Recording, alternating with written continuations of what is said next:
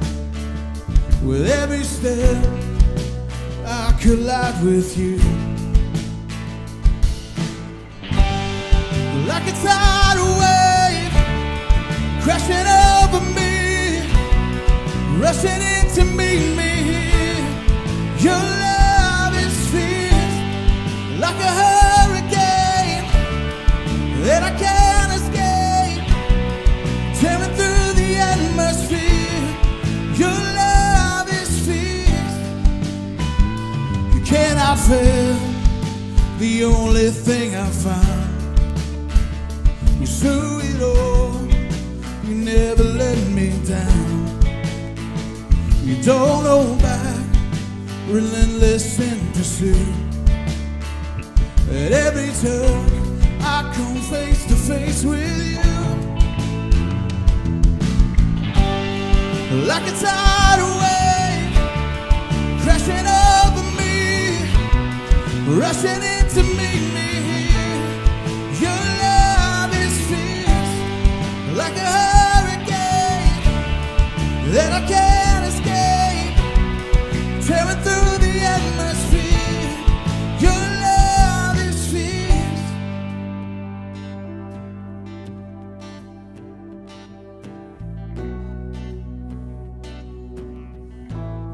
chase me down. You chase me down. You sing me out. How could I be lost when you have called me found? You chase me down. You sing me out. How could I be lost when you have called me found?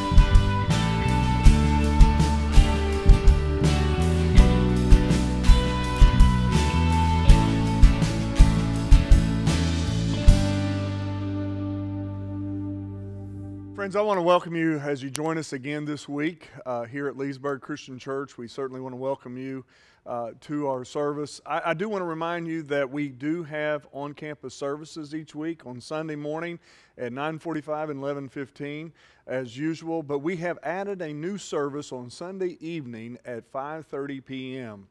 Uh, we've done this in order to provide as much safety and social distancing as we can during this time, and, and we want to encourage you to come back and, and, and maybe if you haven't been to church for a while, to come back at this time and join us as we uh, unleashed that service this past week. And, and we had a good response to it, and we anticipate it to grow even further, and we're excited about it. So if you have any questions, feel free always to contact us uh, either through our Facebook page or um, by calling us or email. We'd love to hear from you about anything. And also with regard to any questions you may have about the study that we're going through presently as we continue our endeavor uh, going through the book of Revelation. Uh, we uh, are, are, so glad to, to, to do this and to share with you, and I think in such a pertinent uh, form and fashion as, as talking about some of the issues that weigh heavy on our hearts today as we most of us have an innate sense that there's something going on in the world, that something is changing, that it's headed towards something. And of course, the scripture teaches us that absolutely it is. And so today we come to Revelation chapters 8 and 9. Now, as I welcome you to Revelation 8 and 9, I, I believe it helps us to answer a question that people have really been asking for a long time, particularly since World War II. And the question is, is will the world someday be destroyed uh, by a nuclear war? I've been asked that question many, many times throughout uh, my ministry. And I think it's a relevant question for us to consider because of particularly what's going on in the world with, with Korea, North Korea, and Iran uh, in recent years. And so I know it weighs heavy on a lot of people's minds. It's interesting to me that nuclear capability that is available in our world today would be able to actually destroy the world about 17 times over. Uh, I looked it up to make sure I had the recent numbers uh, this week. There are roughly 15,000 uh, nuclear warheads available to a, to a, a, a myriad of, of, countries today that used to not possess those. Now, the, the thing about it is, is that if we do not sometime in the future have a nuclear war, it would be the only weapon ever invented that has never been used on a mass or a wide scale. So the odds are not in our favor that it would never be used. Well, the, here's the good news according to what we read in Scripture. The good news is, is that the world will never be completely destroyed by a nuclear war. And we'll, we'll, talk about the reason why. Because the world belongs to God, and God is going to be the one who ends this thing. However, the bad news is, particularly according to what we're going to read today, there is strong evidence that there will be a nuclear war, particularly in the tribulation uh, period. Let me begin by reading you a passage from 2 Peter chapter 3 beginning with verse 3. Peter warns, most importantly, I want to remind you that in the last days scoffers will come. We've talked about this before, mocking the truth, following their own evil desires. And they will say, What happened to the promise of Jesus coming again? And they will deliberately forget that God made the heavens long ago and that He brought the earth out of water and He surrounded it by water. And then He used the water uh, to destroy the ancient world with a mighty flood. And by the same world, this uh, word, this present heavens and earth, have been stored up for fire. They are being kept for the day of judgment when ungodly people will be destroyed. Then the heavens will pass away with a terrible noise, and the very elements themselves will disappear in fire, and the earth and everything in it will be found to deserve judgment. Since everything around us is going to be destroyed like this, what holy and godly lives should you live? This is the big question for us looking forward to the day of God and hurrying it along on that day, He will set the heavens on fire and the elements will melt away in the flames. But we are looking forward to a new heavens and a new earth, as He has promised, a world filled with God's righteousness. Now, prior to God completely cleansing the earth and starting over, we are told in Revelation that there is going to be a fiery devastation on earth brought by the evil domination of whom we have already seen unveiled for us in Scripture as the Antichrist. Now, Ezekiel, uh, the prophet in the Old Testament, describes this invasion coming from the north. And I'm not going to read you all that scripture, but you can find that in Ezekiel chapters 37 and 39. But indications from Ezekiel and from other passages in prophetic writing is that the leader of this invasion is going to actually come from a northern kingdom. In the Old Testament, we're known, it's known as Gog of, of the land of, of Magog. And most Bible scholars, almost all of them that I have read, agree that this is pointing toward the land or the, or the country of Russia. And it's interesting today for us to note in the world political view the relationship that Russia now has been developing in recent years, particularly with Syria, Iran, and China, countries which are very hostile to the nation of Israel. So just keep that in mind moving forward as you keep your eye on world politics and watch the news. Now, the seventh seal, which we're coming to today, is a seal of conflict, and it has two parts seven trumpets and seven bowls. And there are three responses that we see here to the seventh seal. First of all, we're going to see silence, and then we're going to see supplication. I'll explain what that means in just a moment. There's a prayer. And then there's going to be a sounding. So, first, let's look at, at, at silence. In a couple of the Old Testament uh, prophet writings, Habakkuk chapter 2 and Zechariah 2, they speak of a time when the world will be silent before God. But this silence that we're seeing here as this chapter 8 unfolds is not a silence on earth, it's actually in heaven. Now, that's interesting because heaven has always been a very noisy place, according to the scripture's description of what the presence of God is like. Angels praising God, rejoicing over the lost being saved, as we know from scripture, prayers being heard. However, as chapter 8 opens, there is a silence in heaven for a half an hour depicting the seriousness of the judgment that is about to come upon the earth. So the Lamb of God, Christ, breaks the seventh seal.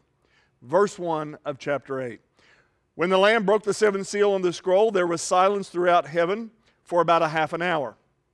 And then the action resumes, verse 20, verse 2. And I saw the seven angels who stand before God, and they were given the seven trumpets. I emphasize the word the because it says these seven angels. And it, evidently, there are angels, and we talked about there's a hierarchical order of angels in heaven. There are special angels that have access to the presence of God, and they're standing. Their job was to carry out God's bidding. We have indication that Gabriel, for example, as we learned about in Luke chapter 1 during the birth of Christ, may have been one of them. Luke 119, then the angel said to him, them, I am Gabriel. I stand in the very presence of God. It is he who has sent me to bring this good news to you. So Gabriel was an angel that stood in the presence of God. So why are they giving these trumpets? What's that all about? It's interesting that the trumpet was actually the most important instrument in, the Bible, or the most frequent instrument that is mentioned. It was the declaration of war. It uh, brought the assembly of God's people together. It also the announced the arrival of a king, which is what all this is setting up toward as Jesus is getting ready to begin his millennial reign. So here it is a proclamation of judgment as well as saying uh, all, the, all the other stuff that will begin to take place. Now, before they blow the trumpets, there is an intermission of prayer. This would be the supplication. Let's look at verse 3 of chapter 8. Then another angel with a gold incense burner came and stood at the altar. A great amount of incense was given to him to mix with the prayers of God's people as an offering on the gold altar before the throne. The smoke of the incense, mixed with the prayers of God's holy people, ascended up to God from the altar where the angel had poured them out. This is a direct reference to the Old Testament tabernacle worship and the duties of the priest. This angel here has a priestly ministry, which is why a lot of people think this could be a description of Christ himself sacrifice had to be made on the brazen altar. He would pick up the coals, uh, put them in a censer, go to the holy place, mix the hot coals with incense before access to God in the tabernacle worship could be granted. In other words, sin has to be dealt with before access can be made. Now, we know from the study of the scripture that we have access through Jesus, and as a result, God hears our prayers. And I'll say more about that in just a moment. Verse 4 also talks about the prayers of God's holy people. These are the saints. This is also expressed in Revelation 6, 9, and 10. So God hears the prayers and he is about to avenge. Now we know from Scripture that Christ is our mediator which is why we do not have to go to an individual or a priest in order to confess our sins. Christ is our mediator and our intercessor to God, which is why when we pray, we finish our prayers, if you'll notice, in the name of Jesus Christ. I only mention that because I want to remind you that you have direct communication to God and that God hears your prayers. Now, He may answer yes, he may answer no, he may answer wait, but God hears your prayers. And in His timing, in the way that is in your best interest, God will answer your prayer. The, the, scripture teaches us that the prayer of the righteous person is powerful and effective. So don't ever quit praying. Verse 5 Then the angel filled the incense burner with fire from the altar and threw it down on the earth, and thunder crashed, lightning flashed, and there was a terrible earthquake. This is a scripture that kind of reminds us of the two aspects of Christ. Either Christ is our Savior or He's our judge. Let's continue to read a scripture that's going to show us the detail of that. Hebrews chapter 10, beginning with verse 26. Dear friends, if we deliberately keep on sinning after we have received the knowledge of the truth, there is no longer any sacrifice that will cover these sins. We can't continually beg off on grace. There is only the terrible expectation of God's judgment and the raging fire that will consume his enemies. For anyone who refused to obey the law of Moses in the Old Testament was put to death without mercy on the testimony of two or three witnesses. Just think how much worse the punishment will be for those who have trampled on the Son of God and have treated the blood of the covenant, which has made us holy, as if it were common and unholy, and have insulted and disdained the Holy Spirit that brings God's mercy to us. For we know the one who said, I will take revenge, I will pay them back. He also said, The Lord will judge his own people. It's a terrible thing to fall into the hands of a, of a living God. So, there we have this idea of silence and what is about to be unleashed. And then we have the sounding of a trumpet. Revelation uh, chapter 8, verse 6 reads like this Then the seven angels with the seven trumpets prepared to blow their mighty blast. And where I was reminded immediately when I read this of what actually transpired in an Old Testament as kind of a, a foretaste of this to come. And by the way, let me just remind you that whenever you're reading the Old Testament, and if you feel like it's boring to you, if you will read it through the eyes and through the mindset of all of it pointing to Christ, which is what we're learning in this series, going through the book of Revelation, you will be uh, much more willing, I believe, to it maybe endure what you think are kind of crazy old stories because what they are actually doing is pointing to this, what we call the blessed event and hope of Jesus' return. For example, I was reminded of the story of Jericho where they were commanded by God to have seven days of marching. On the seventh day, seven priests blew seven trumpets, and that's when the walls fell, and the people of Israel were able then to make their way through uh, Jericho into the promised land. Here in our passage, we have seven angels blow seven trumpets seven times in the 70th week to bring judgment on earth. All of that was a foretaste of what is yet to come. Now, I believe, according to this passage and many others, that this is a judgment we're about to see that is brought on by man and allowed by God to show man ultimately the principle that we talk about and have talked about many times uh, here at Leesburg and, and in other places, and that is the reap and sow uh, principle. You are going to reap what you have sown. You cannot plant something and reap something else. And God is demonstrating here that when sinful uh, nature has been sown and sown and sown and sown, that the reap, reaping of that will be nothing more than destruction. Now, I believe that man experiences what is described here, and you're going to hear it for yourself, what is best depicted as a nuclear holocaust at, a, at, this particular point as God is preparing to purify the earth once and for all. So let's read it together, and you see what, how you feel about it. Verse 7 The first angel blew his trumpet, and hail and fire mixed with blood were thrown down into the earth. Now listen one third of the earth was set on fire, and one third of the trees were burned, and all the green grass was burned. In other words, what's happening here is God is beginning to reverse the curse through acts of man. Uh, uh, uh so God judges the land for the sin of the people, the evil. Then the second angel blew his trumpet, and a great mountain of fire was thrown into the sea. One third of the water in the sea became blood. One third of all the living things in the sea died, and one third of all the ships in the sea were, destroyed. So God brings judgment upon the sea. That is actually probably brought by man himself. Now, we do not know what exactly this is. Is this a meteor that he's describing? Is it a, is it a nuclear or an atomic weapon or bomb or something? We don't know. But what we do know is this that it affects one third of the sea.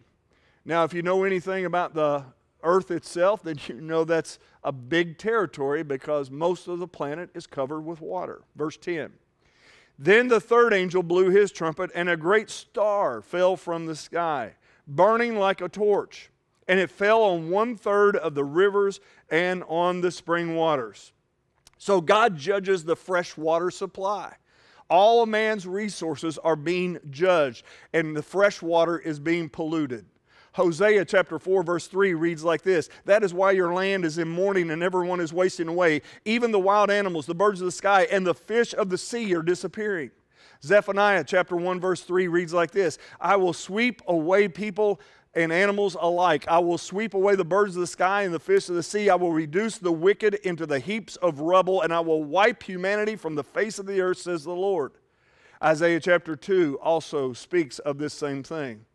However, with all the destruction that man's bringing upon himself, God is not going to permit man to totally destroy himself because it's not man's to do, although he will bring judgment upon himself.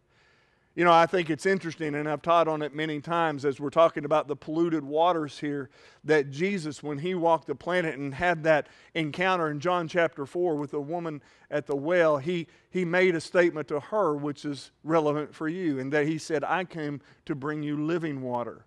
There's something more important. There's something bigger than anything that you can partake here at this particular well. And I would say that is true for you and I as well. So we come to Revelation 8, beginning with verse 11. Now, if you want to read a, um, a parallel passage of Scripture, I would encourage you to read Jeremiah 23. I actually read it just a few moments before I presented this message here to you uh, today. But in Revelation 8, beginning with verse 11, it reads like this This event that happened, that we just read about in verse 10 and following, it made one third of the waters bitter and many people died from drinking the bitter water. We have an Old Testament story about the waters at, at Marah, if you remember, that were uh, bitter and, and made fresh. And, and, and, and here we're seeing a kind of a, a reverse of that. Then a fourth angel blew his trumpet, and one third of the sun was struck, and one third of the moon, and one third of the stars, and they became dark. Well, how could that happen? Sounds a little bit like a nuclear fallout to me and one third of the day was dark, and so one third, and also one third of the night. So, whatever your imagination would lead you to believe that this is, and the exact cause of it, chaos is judgment on man because of his misuse, I think, of time. With the earth being black, time is going to be confused. You're not going to be able to tell day from night. In my opinion, this is the judgment on man who has said they have no time for God. Do you have time for God? Verse 13. Then I looked and I heard a single eagle crying loudly as it flew through the air, Terror, terror, terror to all who belong in this world because of what will happen when the last three angels blow their trumpets. It's going to get worse. Now, as a side note, we know that, and I use the phraseology, if you will, many times, that we live in a dark world. And there is uh, a segment, certainly, of our world and society that loves darkness. And so God is going to give man what he's been looking for and longing for all along, which is actually what hell is. You don't want God, you want to kick God out of your life, you want to be separated from God, and hell is going to be an eternity separated from God. And so here with the darkness, man is just giving, or God is just giving man exactly what he's longed for darkness, uh, stepping away from his light. John chapter 3, we learned that the judgment is based on this fact God's light came into the world, but people loved darkness more than light, for their actions were evil. And who do the evil, all who do evil, hate the light and refuse to go near it, for uh, their sins will be exposed. But those who do what is right come to the light, so others can see that they are doing what God wants. Another great parallel passage in your personal study would be Romans chapter 1 that talks about their futile hearts become darkened in the last days. So we come to Revelation chapter 9.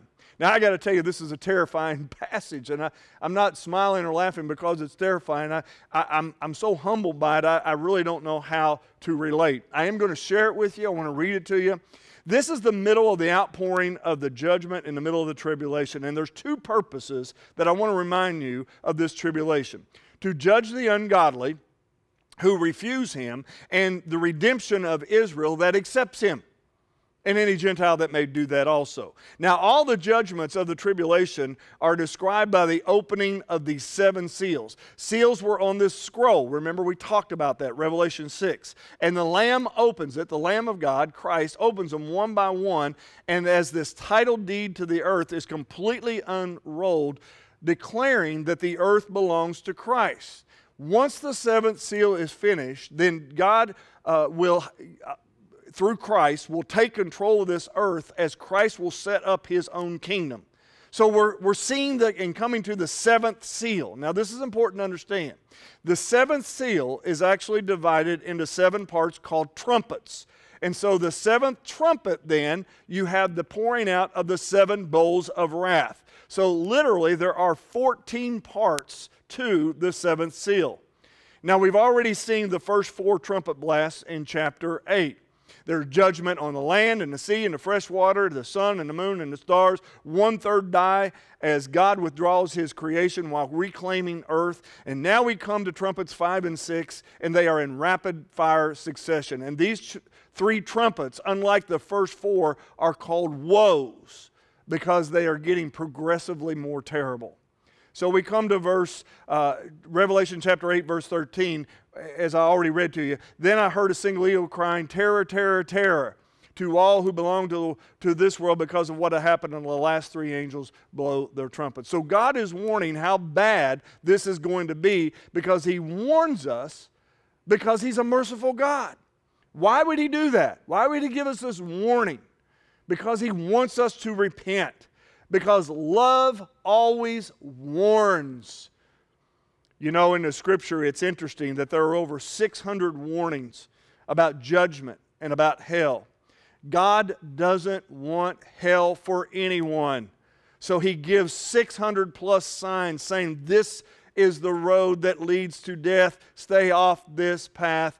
And by the end of the scripture, we come to the conclusion that if we do not choose God, then we have no one else to blame but ourselves. Unfortunately, we are also told by God's word, though, that narrow is the way, and few find it. Broad is a path that leads to destruction. And what we're seeing here is that, in spite of the warnings, many, many people, the majority, will not follow God. So in chapter 9, we have three woes and three blasts of the trumpets. The first four were on the physical world. The next two kind of go beyond the physical world, and hell is literally unleashed on earth as we see Satan and his demons working directly on earth in an unprecedented way. The first woe is found in verses 1 through 12, and here the pit is unlocked. Well, let's read this together and then we'll talk about it for a moment. Then the fifth angel blew his trumpet, and I saw a star that had fallen from the sky. And he, that's important, was given the key to the shaft of the bottomless pit. When he opened it, smoke poured out as though from a huge furnace, and the sunlight and air turned dark from the smoke.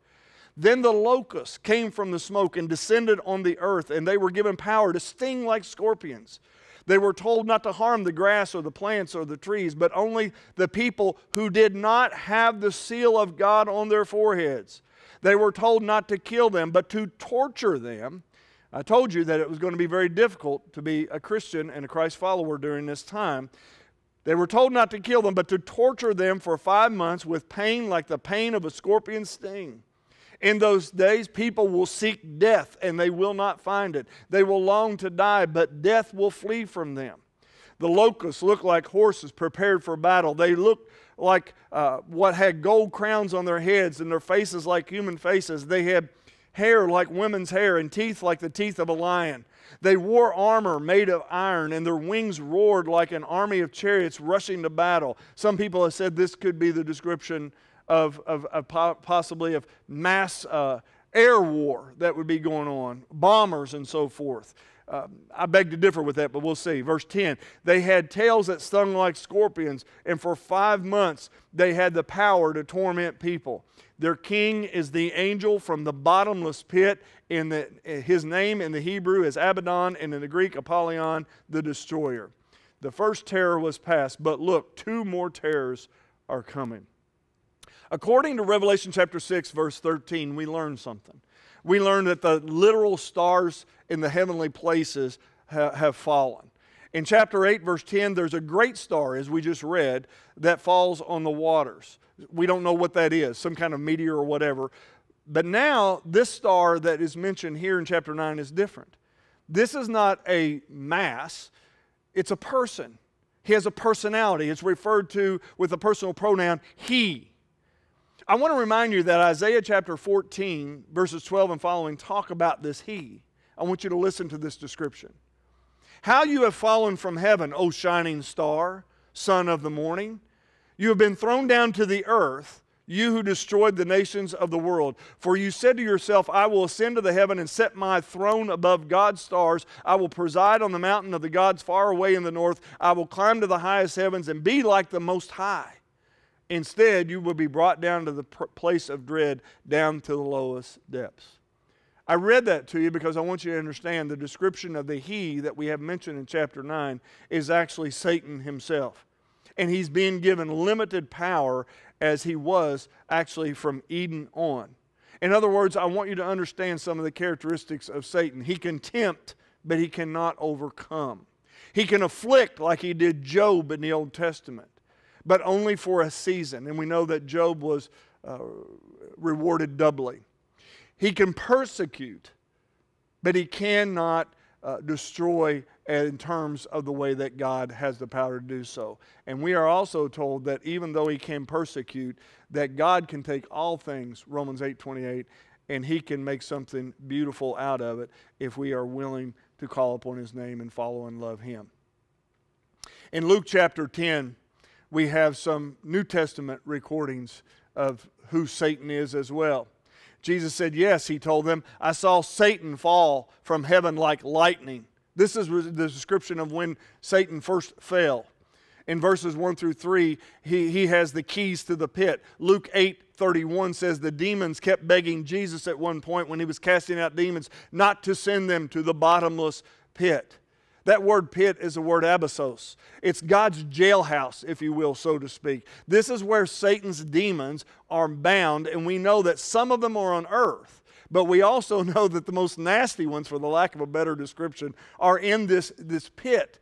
Now, this word is used, this pit word is used seven times in Revelation, and it refers to those chained demons that are being held captive that were once God's angels, but fell in rebellion with Lucifer or Satan himself. Now, as I mentioned before, do you remember where Christ went when he died on the cross? He actually went to the pit or the abyss or the department or compartment of what we call Hades uh, to make a proclamation there to those who have been faithful to God and those who had not. Well, what was he doing there? First Peter chapter 3 tells us. Christ suffered for our sins once and for all. He never sinned, but he died for sinners to bring us safely home to God. He suffered physical death but he was raised to life in the Spirit. So he went and preached to the spirits in prison. Those who disobeyed God long ago when God waited patiently while Noah was building the boat. Only eight people were saved from drowning uh, in that terrible flood. And that water is a picture of baptism, verse 21, which now saves you, not the removal of dirt from your body, but as a response to God from a clean conscience. It is effective because of the resurrection of Jesus Christ. So until Jesus rose from the dead, he went to the pit to proclaim victory over Satan's forces. More affirmation of what this pit is is found in Revelation later in chapter 20, verses 1 through 3. It goes like this Then I saw the angel coming down from heaven with the key to the bottomless pit and a heavy chain uh, in his hand. He seized the dragon, that old serpent who is the devil, Satan, and bound him in chains for a thousand years, pointing to the thousand year reign of Christ. The angel threw him into the bottomless pit, which he then shut and locked so Satan could not deceive the nations anymore until the thousand years were finished. But then after that, he has to be released for a little while, and we'll see why when we get to that. But back to chapter 9. Chapter 9, verse 1. The fifth trumpet brings the first terror. Let's read through this quickly together. Then the fifth angel blew his trumpet, and I saw a star that had fallen to earth from the sky, and he, he was given, he was given the key to the shaft of the bottomless pit. So this angel is given, this fallen angel is given the key to the pit. And what do you think he wants to do with it? He wants to let others out. But you got to remember who gave it to him. Ultimately, who has the keys? Christ gave it to him. In Revelation chapter 1, verse 18, Jesus said, I am the living one. I died, uh, but I am alive forever and ever, and I hold the keys to death and the grave. And so he opens it up. Revelation 9 2. When he opened it up, smoke poured out as though from a huge furnace, and sunlight, and the air turned dark from the smoke. So he unlocks the pit where the fallen angels have been since the rebellion, and now all hell literally breaks loose on earth. Jude, which only has one chapter to it, in verses 5 through 7, read like this I want to remind you, though you already know these things, that Jesus first rescued the nation of Israel from Egypt, but later he destroyed those who did not remain faithful. And I remind you of the angels who did not stay within the limits of the authority God had gave them, but left their place where they belong. God has kept them securely chained in prisons of darkness, waiting for the great day of judgment. And don't forget Sodom and Gomorrah and their neighboring towns, which were filled with immorality and every kind of sexual perversion. These cities were destroyed by fire, serving as a warning of the, of the eternal fire of God's judgment. So when this judgment comes, these demonic forces are going to be loosed, and the earth is going to be blackened with a spiritual darkness. Again, I think that's part of the reason why you and I innately maybe have a fear uh, of the dark, because the dark is represent, representation of evil throughout the scripture. Evil is somewhat hindered today and balanced out by, by light, but it's not going to be then. Verse 3 Then the locusts came from the smoke and descended on the earth, and they were given power to sting like scorpions. There is a power that is unleashed that uh, John is struggling to try to find the words to, to communicate. I do not believe that these are literal locusts, as some depictions have given, as we're going to see, but it is a description of demonic activity.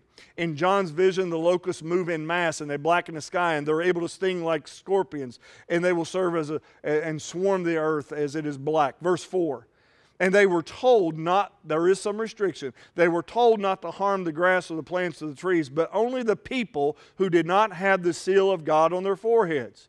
So they did not eat vegetation, which is an indication to me these are not real locusts as we know locusts. What did they feed on? Those without the seal of God or the unbelievers. That's what they fed on.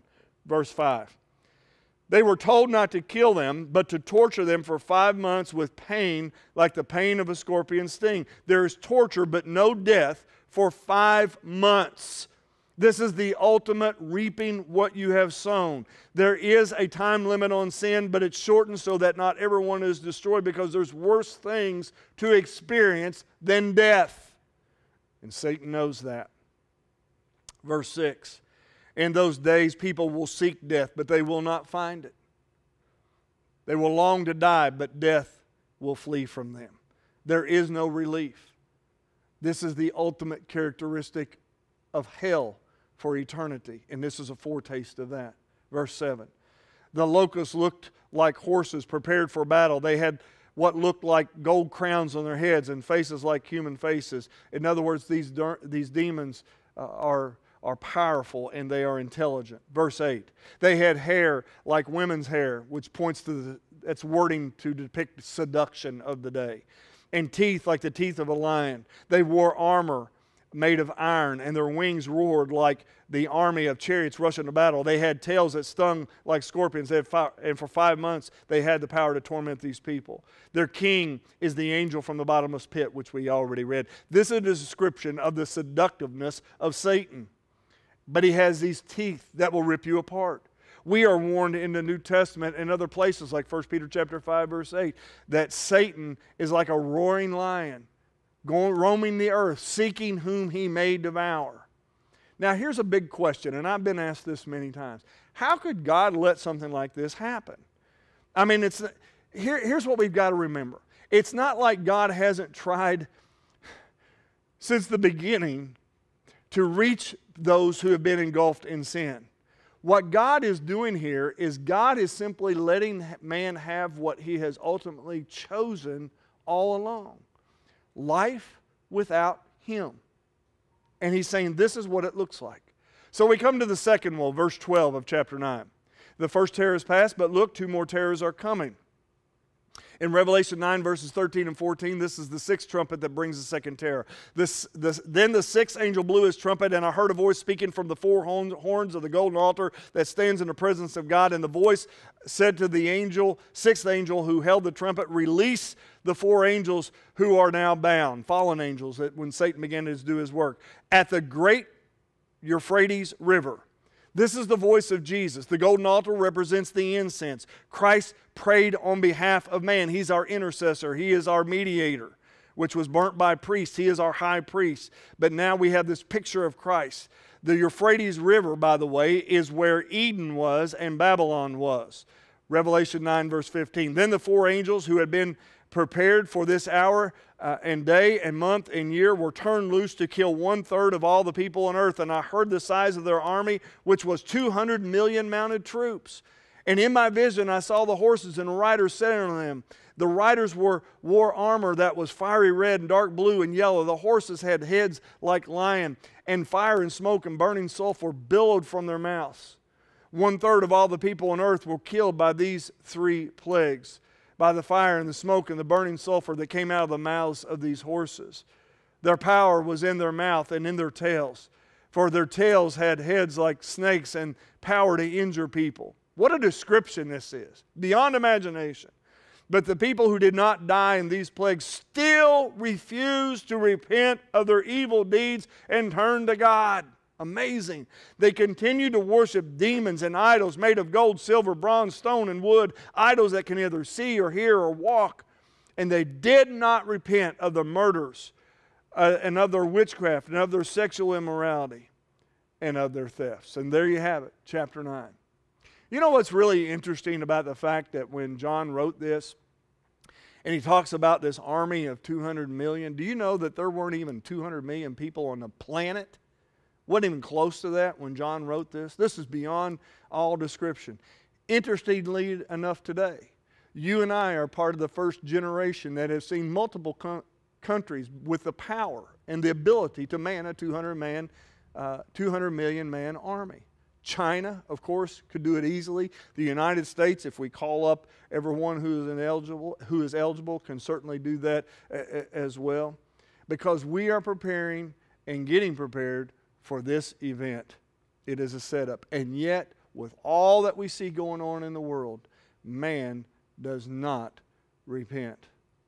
Friends, I don't know what you think about the times that we are living in. I don't know what you think about the fact that uh, we live in a strange period of time, particularly in, in 2020. Here's what I do know I do know that we've had a record, record number of earthquakes on record this year. I also know that right now, as I'm presently speaking, there are five uh, lined up tropical storms, particularly hurricanes. That's never happened in recorded history of hurricanes. I also know that the, the, the west of the United States is being engulfed. Millions and millions of acres and homes and buildings are being burned to the ground right now through fire. And then, of course, COVID 19. 190, 200,000 people in the United States alone, and millions worldwide. Listen, I don't know what all that means. Is that coincidental? Or is it could, could it be the fact that God is trying to give us use this evil that he did not cause but use it to wake us up as he said in the last days, these things will be like birth pains on a woman. There will be an intensity and a frequency, and there will be an exponential curve going up to try to warn us that something is about to happen. And yet, man does not repent. So, the question for you and I are we willing to repent, which means to change? Are we willing to look at the world through a different worldview, a godly worldview? I want to challenge you if you have never accepted Christ to consider it, maybe for the first time, or to turn back to what you were taught when you were young the truth. Friends, it is our only hope. It is our only hope. And I want to encourage you, if you have not had anyone to talk about this, feel free to contact us, and we would love to have a conversation and pray with you about your personal walk and relationship with Jesus Christ. Let's pray. Father, we, we come to you so humbled today. This is a, a frightening passage of Scripture about what is trying to be described in the best words possible of what the terror that is to come. And we know and we're grateful that we, as your followers, will be taken out of this world for that. And I, I thank you for that promise that we are saved from the wrath to come. But it's coming. And there's so many people around us, Lord, that, that have kicked against you for so long, refused and held you at arm's distance. I, I pray, God, that for a softening of spirit for anyone who's hearing my voice and watching this today and hearing your word, that Lord, that you would soften their spirit to say, you know what, maybe my way isn't working so well. Maybe the path that I have chosen is the one that, that, that God would, would not honor. And is it possible that, Father, you're going to give us what you're going to allow us to reap what we have sown? So may we think about and reflect on what we're sowing into our lives on this day. Thank you for this moment that we have of, uh, of personal examination, and I pray that it is fruitful and beneficial to all of us as we move toward a great day of being with you. Thank you for that confidence. Thank you for that hope that now there is no condemnation for those of us who belong to you. In Jesus' name I pray. Amen.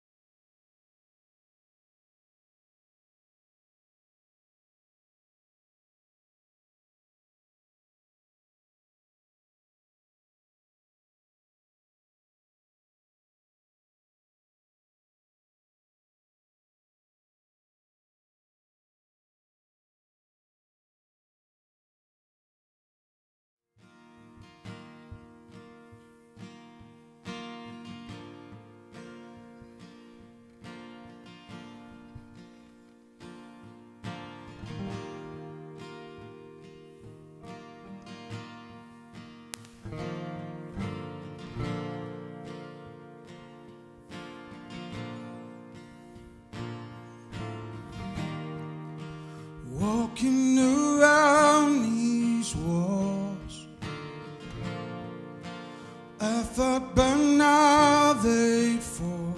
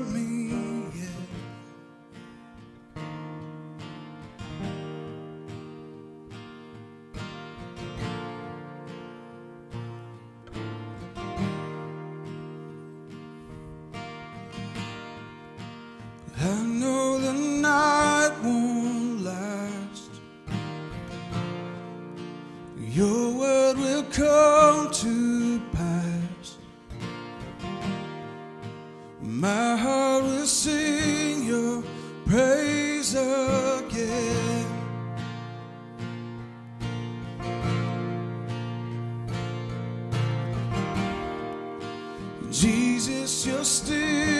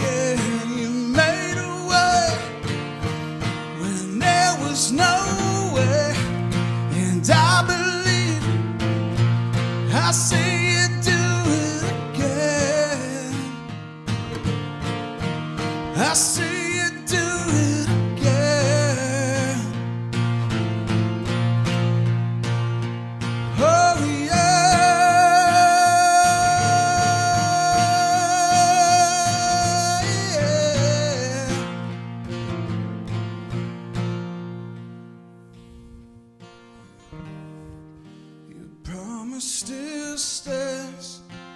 Great is your faithfulness, your faithfulness.